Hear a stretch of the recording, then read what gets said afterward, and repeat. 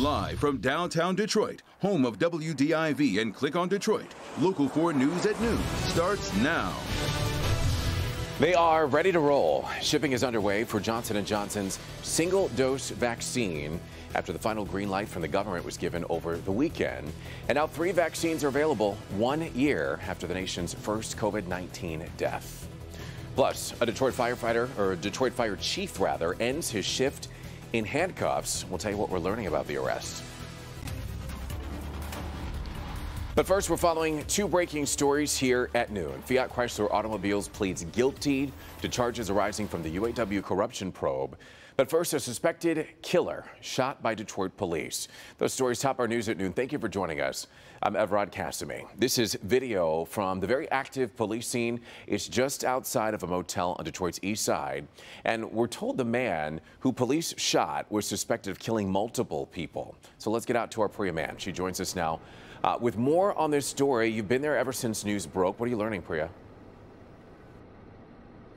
Chief Craig says this was a man from Ohio wanted for at least three murders and two attempted murders uh, in Ohio, made his way to Detroit, and that's where there was a violent shootout here in this parking lot uh, early today at the Rivertown Inn at Suites at Jefferson and Rivard. Here's what Chief Craig is telling us. They were informed last night that this man uh, wanted for three murders, two attempted murders in Ohio, had made his way to Detroit. Now, it was the quick thinking of the supervisor on duty last night to not try and approach this man at the Rivertown Inn and Suites. They waited for him to leave. That's what he did this morning. When the man exited the hotel, he may have spotted either a marked or unmarked police officer, went to his vehicle and opened fire. Multiple police officers returned gunfire. Here's what Chief Craig had to say about this very violent takedown that happened earlier today.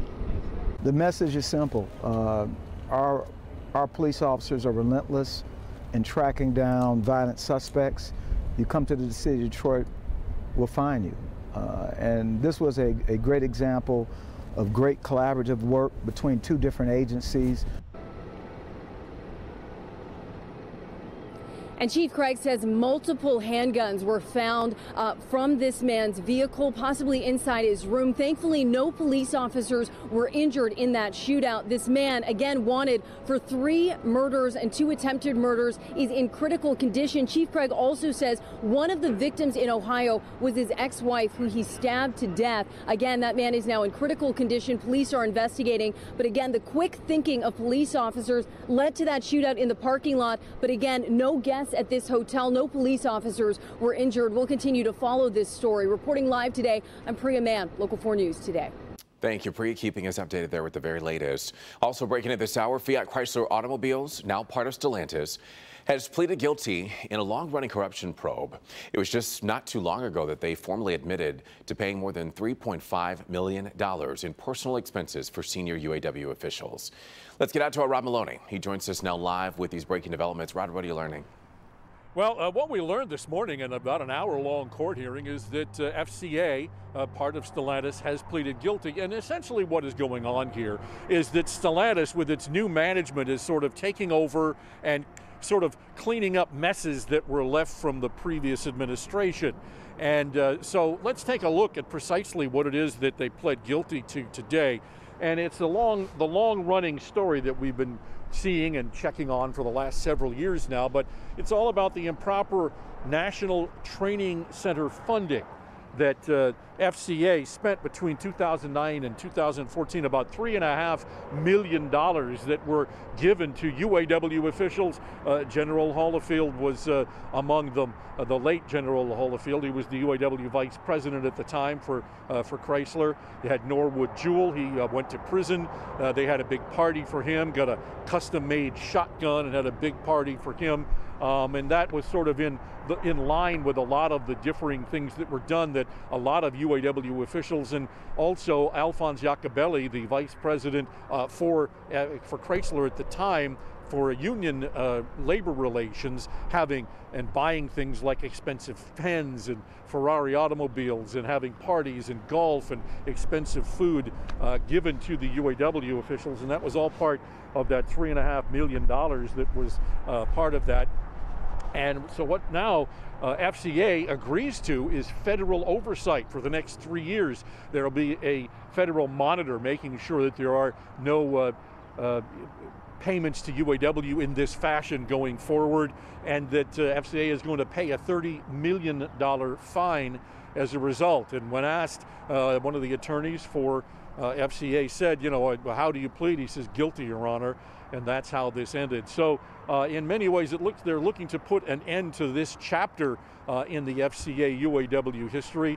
Uh, and uh, Rory Gamble, the UAW head that we spoke with a couple of weeks ago, uh, said that the union is now looking to move forward, that it's a greatly changed union since that time. And so uh, we'll be looking more into this and talking a little bit more about what it means, but it, uh, it does bring to a close a rather ugly chapter in the automotive industry. Reporting live from Auburn Hills, Rod Meloni, Local 4. Rod, thank you. In other news this afternoon, a Detroit fire chief ends his shift in handcuffs, and sources are connecting his arrest to a crash that happened while he was allegedly under the influence of alcohol. This is a photo of the car hanging over the Lodge Freeway. Take a look at that.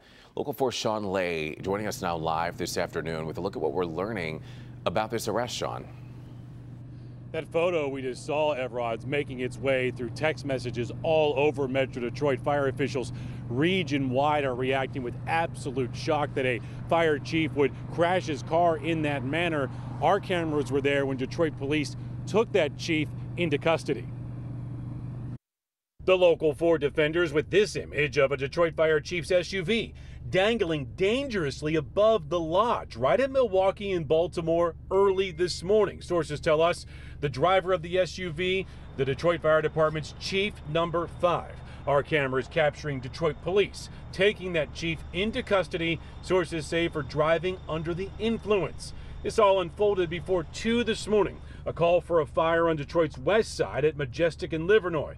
Chief 5 was supposed to be there. He would serve as the head coach of the firefighting operation, directing firefighters, keeping track of them, calling for EMS if needed. But repeated calls on the radio, Chief 5 could not be reached. Eventually, he was found in the department SUV, dangling over the lodge, unable to get out of his own SUV. He told crews on the scene he was not hurt.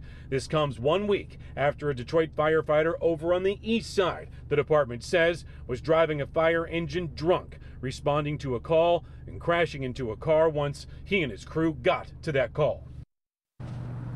So here we are again, exactly about one week and 12 hours later. Another member of the Detroit Fire Department under investigation for uh, operating a vehicle, uh, responding to an emergency. Uh, again, allegedly under the influence of something here. Sources say alcohol, perhaps maybe more, but an alcohol screen was given. That Chief 5 works out of a station house at 2nd and Burroughs in the Midtown section of, the, uh, of uh, Detroit. I am told everyone on duty at that time, right after this crash, uh, went through an alcohol screen. Four negative tests came back, Evrod. Four tests pending further investigation, further analysis into those tests. We'll be speaking to the fire commissioner here in just a bit to get his thoughts on, again, uh, an issue here within the department. Back to you. Yeah, and Shawn, we know you'll stay on top of it. Thank you for keeping us updated on this situation. An investigation is underway now after a Wayne County Sheriff's deputy is involved in a crash. Sky 4 was over the scene this morning, right in the area of Indiana and Schoolcraft. That's on Detroit's west side. Investigators say the deputy was trying to avoid hitting another vehicle, uh, swerving, and one of the cars hit a fire hydrant. We're told that no one was hurt or arrested. Well, the U.S. now has a third coronavirus vaccine to help bring this pandemic to an end. On Saturday, the FDA granted emergency use authorization to the Johnson & Johnson vaccine. The first vials of the single-dose shot are being shipped out. This is video of the rollout from the McKesson Distribution Center that's over in Kentucky. The company CEO says that Americans should start getting the single dose shot within the next day or two. Here is Stephanie Gosk with more. With a third COVID vaccine now approved for emergency use, there is new hope that the effort to vaccinate America will speed up. Johnson & Johnson set to deliver 4 million doses of its vaccine this week. The FDA's Advisory Committee on Immunization Practices, or ACIP, recommending the vaccine for people 18 and older. You now have three highly efficacious vaccines. If you go to a place and you have J and J and that's the one that's available now, I would take it. I personally would do the same thing. I think people need to get vaccinated as quickly and as expeditiously as possible. In clinical trials, J&J's vaccine demonstrated a 72% efficacy in the United States and was 100% effective at preventing COVID-related deaths. The vaccine can also be stored at regular refrigeration levels and requires just one dose. Johnson & Johnson is going to be a game changer. The fact that we can fully vaccinate everyone in just one shot it's just going to get us to the finish line that much faster. Still, for now, getting shots into arms hasn't been a smooth process. In Washington, D.C., the mayor and health officials say technical issues with their vendor caused their site to crash as people tried to sign up for appointments. While California, which has faced delays and issues with distribution of its vaccines, is set to roll out a new statewide network today, run by Blue Shield. And as more states lift restrictions, health experts warn that even though daily cases and deaths are declining, they still remain too high. Now is not the time to relax restrictions. Johnson & Johnson says 4 million doses will be out by the end of this week, but officials caution that the supply of this single-dose vaccine could be spotty this month, even though the company says there'll be 20 million doses out the door by the end of March. Johnson & Johnson also says it will begin trials on children under the age of 18 and pregnant women. Stephanie Gosk, NBC News, New York. Thank you, Stephanie. Still to come, it's a big day for some hardworking teachers and educational staff here in Michigan. We're going to take you inside of a special vaccination event that was happening at Ford Field. But first, Brandon has your forecast for this first day of March. Wind is winning the weather forecast, at least for now, but we are tracking some flakes, more snow or sun as we head through the day. That and what's next. Local 4 News at noon, coming right back.